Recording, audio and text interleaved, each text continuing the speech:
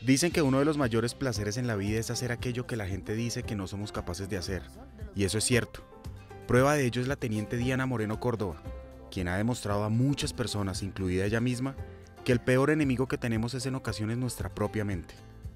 La teniente Moreno llegó a este mundo en Quibdó, Chocó, pero muy pequeña dejó estas hermosas tierras y vivió toda su infancia en Puerto Berrío, Antioquia. Bueno, es una infancia muy hermosa, porque digámosle que a raíz, digámosle, de la separación eh, de mis padres, eh, pues mi madre fue la que, digámosle, estuvo ahí con nosotros siempre.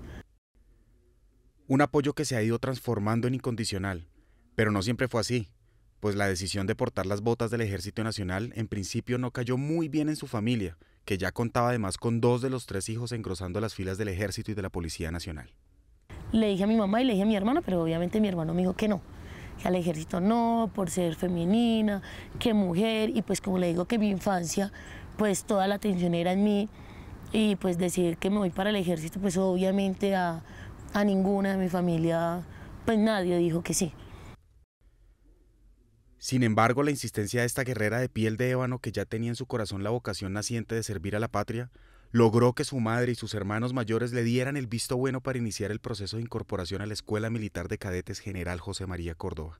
Cuando ya pasé, o sea, cuando ya me llegó el resultado a la casa que yo había pasado, pues mis hermanos dijeron como de, tocó dejarla ir. O sea, como o sea, todo el mundo me apoyaba como vaya, haga la carpeta, vaya y me daban la plata, me daban una cosa y la otra, pero como diciendo como ya no va a pasar, o sea, ya no da para eso. Entonces cuando dijeron pasé, entonces ya dijeron, bueno, listo, la vamos a poner dos meses. En dos meses si usted se aburre, se viene. Esos dos meses se convirtieron en tres, tiempo en que la en ese entonces cadete Moreno recibiría su primer honor como militar, lo cual terminaría de convencer a sus familiares de su enorme vocación. Cuando ya, ya, eh, ya estuvo la entrega de AGA, que fueron los tres meses, fueron todos a la ceremonia. Ahí sí fueron todos. Yo pensé que no iba a ir nadie. Yo les di las invitaciones y no. Eran tres invitaciones y fueron aproximadamente siete personas. Entre esas mi papá. ¿Y hoy en día qué dicen? No, hoy en día son súper orgullosos. Mi, mi hermano, más que todo el militar, es, es, muy orgulloso de mí, es, es muy de que yo tengo una hermana que es teniente o, o mire, les presento a mi hermana, es del ejército, hermanita, vamos a algún lado, porque siempre es hermanita. Hermanita, y yo, oiga, al menos dígame teniente. No, hermanita, vamos para un lado, hermanita, vamos para allí, y siempre es así. Y no es para menos. Su hermano mayor, el sargento segundo Jorge Moreno, Oito, como le dice la teniente Diana Moreno, es su faro y su guía en el camino de la vida. Es, es, un orgullo, es un orgullo, una satisfacción ver a mi hermana menor representando esa fortaleza de la mujer colombiana dentro de una institución tan grande y tan, tan maravillosa como la, la del Ejército Nacional. Y es que ser mujer en el Ejército Nacional, como lo dice el sargento segundo Moreno, es un honor y un orgullo que pocas llevan en su pecho. Pero el inicio no fue fácil. A punta de la fuerza inquebrantable de sus piernas logró lo que también pocos logran, combinar el deporte con la pasión por el camuflado. El inicio de esta carrera, eh, digámosle, fue el deporte.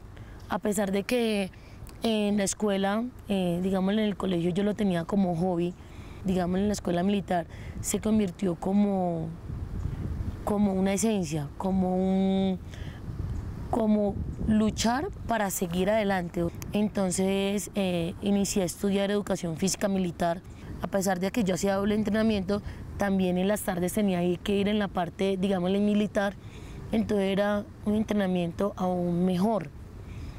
Entonces me tenía que exigir el doble, entonces me tocó esforzarme aún más y lograr ser campeona mundial, que fue en Quito, Ecuador. Esta experiencia ha quedado guardada en el corazón de la Teniente Moreno gracias a su talento y su disciplina.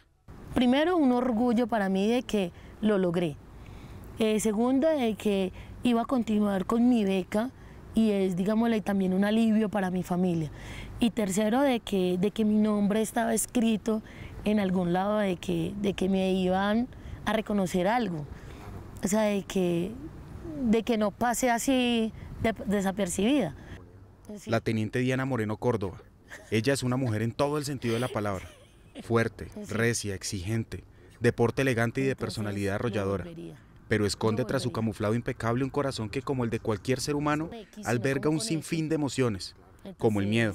Sí, el miedo. Aunque no lo parezca, esta valiente y aguerrida mujer le tiene pavor a las alturas.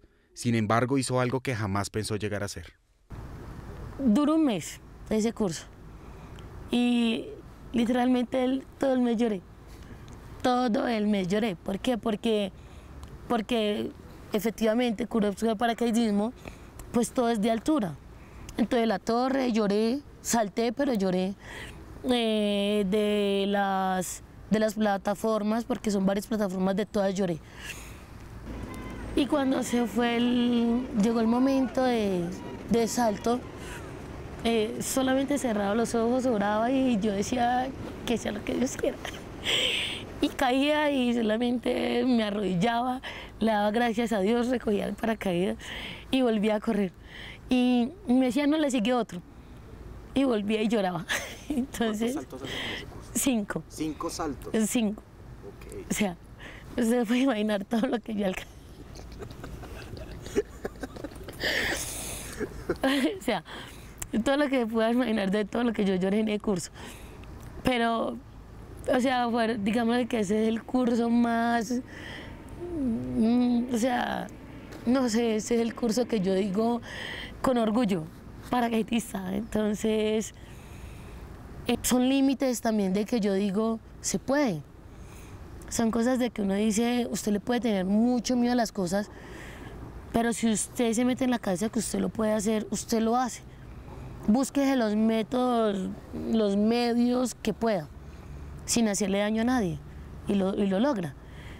Entonces es, es todo lo que yo digo. ¿Volverías a saltar? No.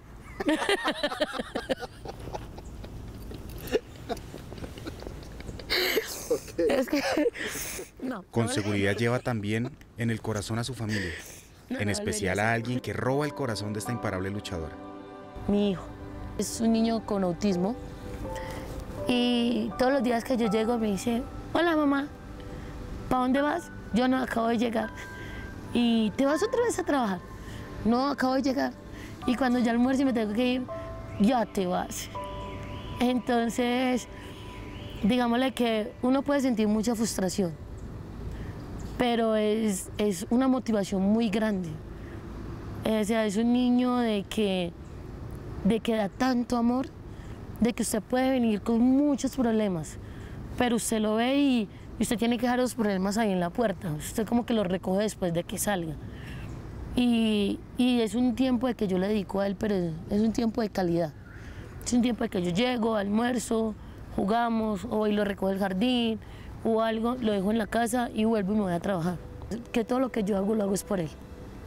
Por él y para él siempre pensando en él, por más duro y por más difícil que esté la situación, eh, uno siempre va a decir, en casa hay alguien que me espera, en casa está mi hijo y todo lo poco lo mucho que yo consiga es, es para que él sea un niño feliz.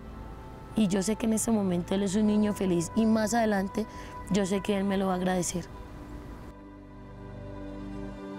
Ella es Diana Moreno Córdoba, mujer que basta escucharla para sentir la fuerza y la inspiración que invade a todo aquel que la rodea. Una mujer que como muchas logra equilibrar de manera perfecta su rol como militar, como madre, como hermana e hija, y por si fuera poco, campeona mundial de atletismo. Para ella y para todas las mujeres de nuestras fuerzas militares, toda nuestra admiración.